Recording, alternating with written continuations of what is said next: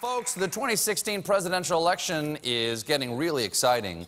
Uh, fear is a type of excitement, right? Okay. And I am personally very excited because next week, every night after the convention, The Late Show will be live, and I hope you will be also. Now, the buzz is what's going on right now in, in both camps is that both Hillary Clinton and Donald Trump are apparently about to announce their running mates. Clinton's choice will likely come next week, but this Friday, Trump is hosting a major event to announce his pick ahead of the Republican convention in Cleveland. It'll be like LeBron James' decision, only this time all of Cleveland will try to flee to South Beach. so let's take a quick look at this year's top prospects with The Late Show Vice Presidential Draft Preview.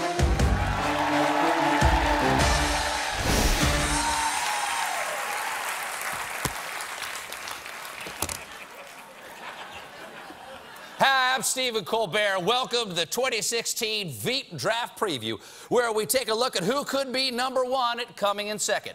Joining me, as always, with analysis, a man I'm proud to call my friend, Steve Colbert. Steve, thank you, Stephen. It's an honor and a privilege to appear alongside a broadcast legend. Thank you, Steve. For me, it's like looking at a younger, more talented mirror. This year, we've got some great young prospects, some just decades out of college. Let's start with the leading contenders to join Team Trump. Analysts expect the pick to go to New Jersey Governor Chris Christie, former House Speaker Newt Gingrich, or Indiana Governor Mike Pence. I'm sorry. Sorry, I fell asleep when Mike Pence's face appeared on the screen.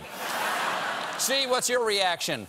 Great field. Who knows? If Trump picks running mates the way he picks actual mates, he could go with all three. well put, Steve.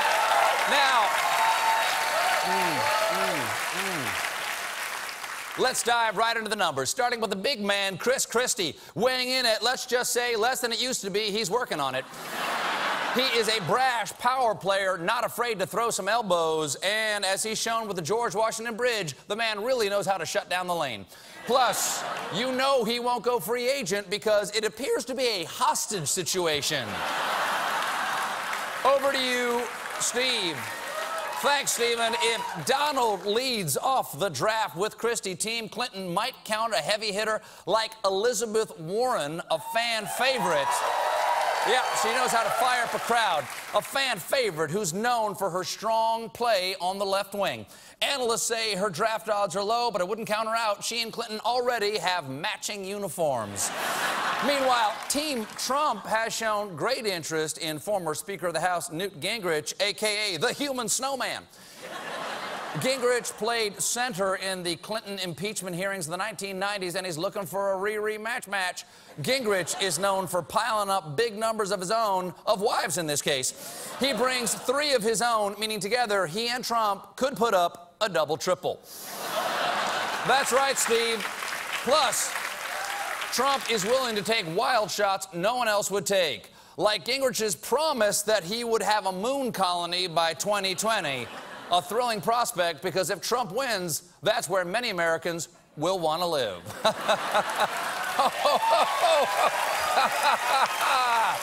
and, and boom goes the democracy. Back to you, Steve, for more on Team Hillary. Well, the excitement builds as Secretary Clinton could pick Virginia Senator Tim Kaine. I'm sorry. Seeing Kaine's picture made me go a little Mike Pence on you. Let's take a look at Kaine's pre draft statement. I am boring. Boom! The man nailed it. That's grace under pressure right there. That statement reminds me of Vice President Alben W. Barkley's famous declaration Who am I again? now, Stephen, who else is on Draft a Donald's list? Well, Coach Trump is taking a close look at Indiana governor and dehydrated Newt Gingrich, Mike Pence.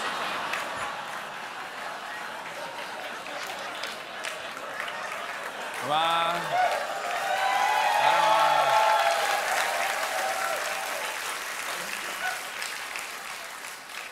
I don't, I don't want to go to Cleveland, Mom. I don't want to. What? How long was I out? Now, just listen to Trump's excitement about this prospect. You'll be calling up Mike Pence. I don't know whether he's going to be your governor or your vice president. Who the hell knows? Absolutely. Who the hell knows anything about Mike Pence? I believe he is the before picture on the box of Just for Men.